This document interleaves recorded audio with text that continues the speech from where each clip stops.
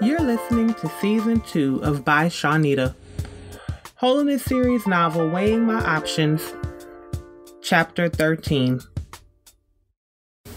Being told by a client to check out a competitor proved to be the last straw for Tony with Tish Dolliver.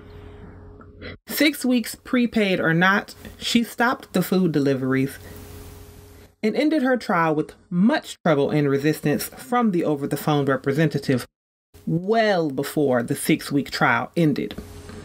Rapid Pounds Shed looked to be successful for lots of people. It started on the West Coast and did have several offices in North Carolina.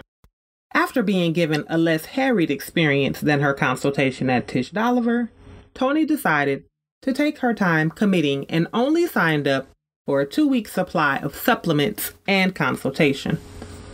One thing about Rapid Pounds she liked better than Tish Dolliver from the start was the option to buy her own food. Cardboard and freezer burned pizza taste better than some of the dishes she struggled her way through the three weeks she ate those prepackaged meals. Some of the promises and results they claimed seemed far fetched to Tony, but she did have a large amount of weight to lose, so she prayed for the best and moved forward.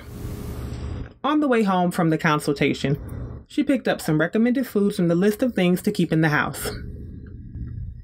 Tony looked at the list of prohibited foods as if they didn't matter initially, but with client meetings, eating at restaurants proved to be more challenging than she expected. One of the clients suppressed a laugh as she pulled out the salad dressing she purchased on a whim. The one thing she had to admit to herself was that the weight seemed to be dropping off her at a rapid rate. So rapid a rate, some of her skin had begun to sag. She had bat wings before, but now, instead of plump bat wings, they looked weird. Nonetheless, she plowed ahead into week two. Her consultation went well, with the exception of the woman attempting to sell her even more supplements and products she didn't want or need. Some of the supplements she took already had her feeling weird. An appointment to meet with her doctor wasn't available until the following week. She was determined to make this diet work, so she took them without fail over the week. A, hor- a horrible headache greeted her before the alarm sounded Sunday. That kept her from volunteering at the orphanage she went to every week. Three dosages and a long nap later, she moved around only long enough to drink some water and return to bed. The appointment with her doctor couldn't come soon enough. Dr. Knoxley walked into the exam room with a smile on his Someone's been losing weight. I'm proud of you, Tony. Tony shielded her eyes from the lights and nodded. What's wrong? I've had a migraine headache I can't get rid of since yesterday. Is that why you came in today? Dr. Knoxley sat on the stool at the foot of Tony's examination table. No, I started Rapid Pound Shed last week and they recommended all of these supplements I never heard of, and I wanted to meet with you to make sure they're okay with my medications. Truth be told, I'm not feeling so good. Tony dropped her head. Dr. Knoxley accepted the bottles from Tony. I want you to allow the nurse to do a quick finger prick to check your cholesterol. Our lab technicians are here, so you'll have the results before you leave today. Tony nodded again. What seemed like a few minutes, but was an hour later, Dr. Knoxley returned. The look on his face matched how Tony felt. You have to stop taking these supplements immediately, and this eating plan, your cholesterol is up. I don't know if it is the foods you're eating or the supplements interfering with your prescription, so just stop both. Tony's shoulders slumped. If you lost the weight fast, it is probable you're going to regain it back. I have some brochures if you're ready now to take them. Dr. Knoxley wrote something on a prescription pad. Your blood pressure is elevated, which I believe is due to the stress and pain from the migraines. I have asked them to give you a list of registered dietitians near you and information on a weight loss center not far from us your insurance has an agreement with that we've worked with in the past. Dr. Knoxley stood next to Tony. I'm going to check your vitals and prescribe some pain medications until these supplements get out of your system to help with the headaches. Please consider the center, Tony. I've seen them help people committed to losing weight. Tony accepted the papers and nodded. Thank you, Dr. Knoxley. Anger surged through her through the entire ride home. She couldn't take the pain medication until she reached home, so the pain from the headache, coupled with the defeat at the news of her inability to continue the diet, enraged Tony. Instead of celebrating her weight loss, she had to start horrible process all over again. Bright signs from the fast food restaurants on the way home beckoned to her. She stopped at three. One sold her favorite mocha caramel shake, Another sold the best french fries with cheese sprinkles ever invented. And the last made the best fried chicken on every side of the Dixie. Period. No point in being fat and miserable. If she would die early and alone and obese, she planned to do it with a smile from enjoying food on her face. She sat in front of the computer to check her email as she finished her food. A message from her old church and a chat invitation from Becca waited in her inbox. Tony clicked on the chat invitation. Hey, girlie. Mm, you look like hell. Becca leaned in toward the screen. Thanks. Tony's eyes filled with tears. You were doing so well. What happened? Becca sat back up. Dr. Knucklehead told me to quit the program. The supplements interfere with my meds. I give up, Becca. And did I mention Minister Evil contacted me again? I don't know what these people or God at this point want from me, but I'm sick of this crap. Tony allowed the tears to fall. Good. Maybe if you get sick enough, you'll deal with the real issue and stop hiding behind your weight. Becca crossed her arms. Now is not a good time, Becca. Tony wiped the tears from her eyes. It hasn't been a good time since you left Atlanta. Yes, Raj betrayed you. And the pastor. Hell, maybe even the entire leadership at the church in Atlanta. But you're doing this to yourself, Tony. I knew you before you moved to North Carolina. The pictures you showed me from your childhood and college days didn't contain one image of someone who struggled with their weight you looked better in your bathing suit than I did. This is deeper than you want to admit. Until you acknowledge it, none of this is going to matter. No diet is going to fix this. Becca tapped the screen. You know I'm right. Your goddaughter is crying. I'm sending you an email to the retreat I told you about. Take a look at it and call me tomorrow. I won't be near my computer. I love you. Tony nodded. She left the pain pills on the desk next to her computer. Exhaustion and pain lulled her into a fitful sleep. Images of Raj and her former pastor filled her dreams all night.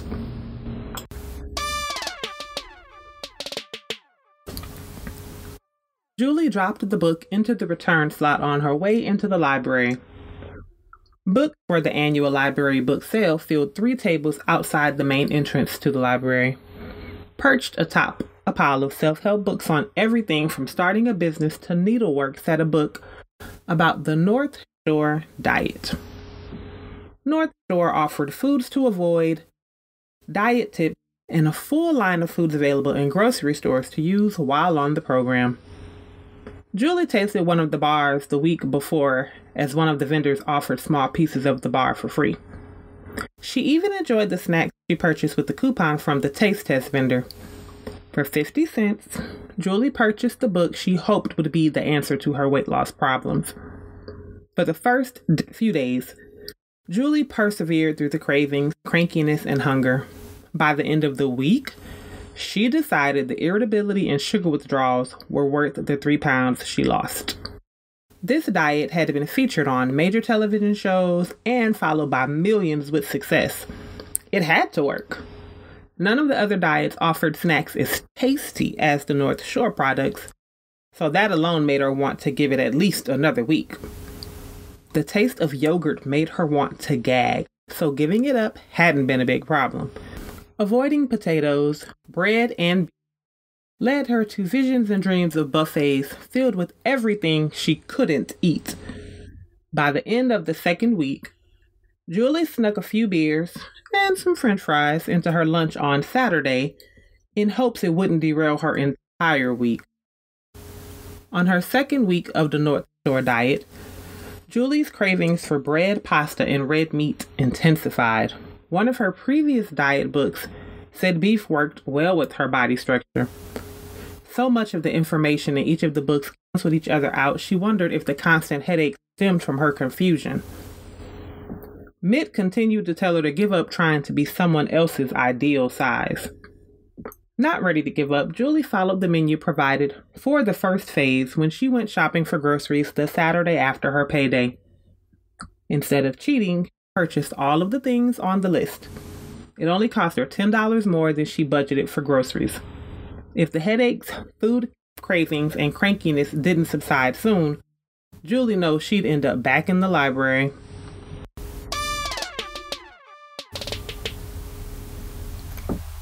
Mitt walked through her door with one hand behind his back. Mischievous look in his eye reminded her of the previous month he kept her fed and liquored up all weekend. Most of the time before she started trying to lose weight, she had to beg for Mitt to spend more than a night with her. But since she told him about the bet, he came over every weekend like clockwork.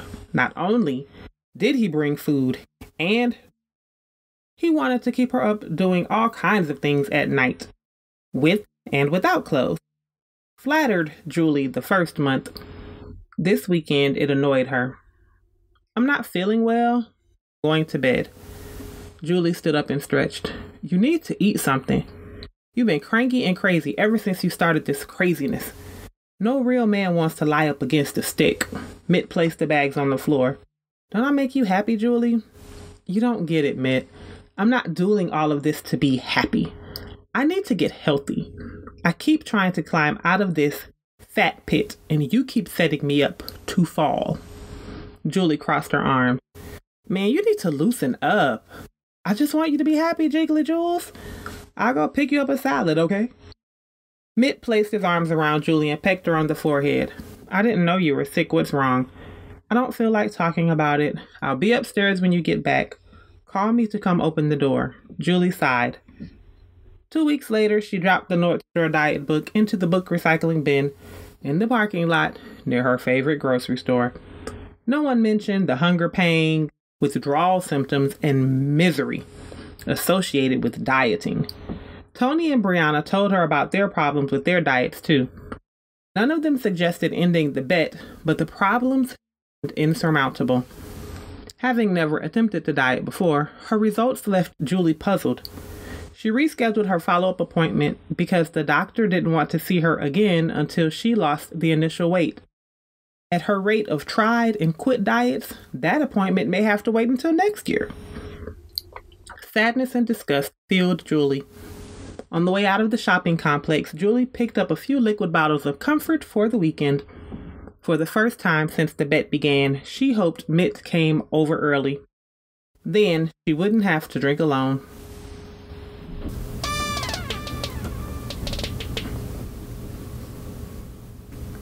Sprinny tasted weird. Not bad or good, just weird. The more she sprinkled it on things, the more she wanted to throw in the towel again, but refused to quit another diet in the first week. This one she vowed to see to 15 days. With more than a $1,000 down the drain in pills, fraud, and trashed groceries, this one had to work. For 10 days, Brianna sprinkled, sniffed, and chewed. Initially, the product seemed harmless, save for the weird, bitter, but not quite there taste that never left her mouth. People on the forums for the site said it enhanced the taste of their food. Brianna knew those people either ate sand or couldn't cook before trying Sprinny because, as far as she was concerned, it tasted weird she liked about Sprinny outweighed the problems her husband kept her from ignoring on day 14. For the last few nights, her gas smelt so bad he left her to sleep in the guest room. One night, she sneezed so loud, Tanya ran into the room to make sure they were okay. Since the first sneeze, her sinuses bothered her more than she ever remembered. Her allergies triggered in the spring. This close to fall, Brianna never dealt with sinus or allergy issues. She refused to believe a little powder made from normal food ingredients wreaked this kind of havoc on her sinuses. Day 15 started like the other days. Sprinkle, sniff, chew, and ignore the medicine taste Sprinny added to her favorite bagels and spread. A cramp on the side of her stomach crept under her belly to the other side. When Thomas walked into the room, he found Brianna doubled over on the floor, clutching her side. The smell of eggs, old garbage, and methane gas filled the entire kitchen. Bree, baby, is that you? Thomas waved his hand in front of his face. Brianna tried to answer but nodded instead. This has to stop, darling. I know you want to win this bet and you're determined to have this baby, but you're putting yourself through too many changes. How about I look into getting you some healthy cooking lessons and we join that gym around the corner? Thomas sat next to Brianna. I know the club is too far for you to be consistent working out.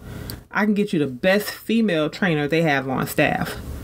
Female? Brianna croaked out. Yes. I've heard about chicks losing all the weight, then running off with their hot, younger trainer. Thomas helped Brianna off the floor. He sat her down at the table to eat in the kitchen area. Not happening. Brianna attempted to laugh when a pain gripped her bowels. Are you okay? Thomas reached into the refrigerator and pulled out a bottle of water. When is the last time you went to the bathroom? Thomas! Brianna closed her eyes. We're not about to have casual conversations about her bathroom habits. We're married, Brianna. I will go up in there like that pop singer did for his wife if I have to. What was it, like four days ago? Thomas gave her one of his I'm not dropping this looks. Brianna nodded. Thomas pulled a bottle of the over the counter stomach relief medicine from the cabinet next to the spices. He poured a dosage into the cup in the box. He hand, his hand hovered in the air in front of Brianna. Don't make me call your mother. Brianna crossed her arms and turned away from him. Thomas turned on the flat screen television across from them. He placed the cup near her on the counter. I've got all night. I will not be out to dinner with you somewhere and you begin to leak waste matter from every opening in your body and die. That has happened, you know. A woman died like that in front of her husband and ruined everyone in the restaurant's meal. You need to stop. Brianna rolled her eyes again. Go look it up.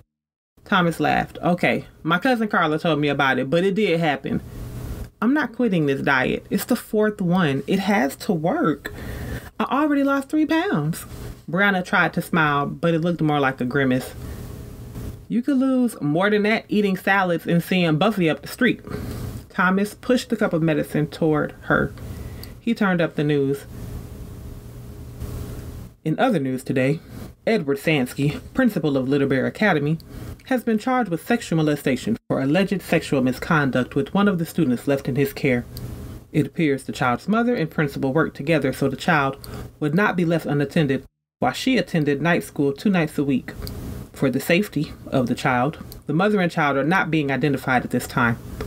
The authorities hope by sharing the charges it will help any other possible victims find the courage to come forth. Back to you, Monica. A wave of nausea swept through Brianna as tears poured down her face. That is just a sin and a shame. Someone who's supposed to protect and help children, preying on them while their mother is trying to make their life better. God help them. Thomas shook his head. He went as ashen as his complexion allowed when he looked at Brianna's. Bree, baby? Tears and snot filled Brianna's face. Opened her mouth to speak and vomited all over the floor in front of her chair. Memories and pain flooded her soul. She heard a voice and remembered snatches of a familiar place. The taste of the sprinny reminded her of a medicine she took as a child. Snatches of images from her elementary school flashed in her mind. Thomas pulled paper towels from the dispenser on the wall like something on a bad sitcom. Brianna tried to help, but the tears refused to stop. Her breathing returned to normal once Thomas turned the television off. You looked like you saw a Thomas pulled a bottle of cleaner from under the sink. He sprayed the area in front of Brianna. Did you know him? Brianna shook her head. Must have been something because you didn't look nauseous before I turned the news on. You reacted like he did something to you. Thomas threw the rancid smelling paper towels into the garbage. He spun around so quick he made Brianna diddy, dizzy. Did he? Her voice sounded scratchy. No, I've, I've never seen him before. Thomas sprayed more cleaner on the floor. You have to change your socks and pants. Need to get them in the washer while they can be saved. Brianna took her bottoms off. Glad you took Tanya home earlier. Shavana does not need to hear about this. And Tanya is sweet, but I don't want her seeing me with no clothes on. Thomas stepped around the white, the wet spot in front of Brianna. Your stomach must feel better. Her hand pressed into the side where the cramps began. Brianna nodded. Good. Go clean up. I'm going to get us something to eat and throw that sprinny crap away. We'll talk more when I get back. Thomas helped Brianna out of the chair and around the cleaner on the floor. I guess. I don't know him or why he made me want to throw up. Brianna swallowed the lump the lie formed in her throat. You're a horrible liar, Brianna. It is one of my favorite things about you. Get cleaned up. I'll be back. Thomas kissed her temple. Brianna watched her husband take her soiled pants, socks to the laundry room Sound of water followed her up the stairs into the bathroom. She used to lie very well. Oh well, she found a way to cover up the pain driven binges, or the lies, she said herself. I hope you enjoyed Weighing My Options, Chapter 13, written and read by Shawneda. Please tell your friends about the podcast and join us next week for Chapter 14.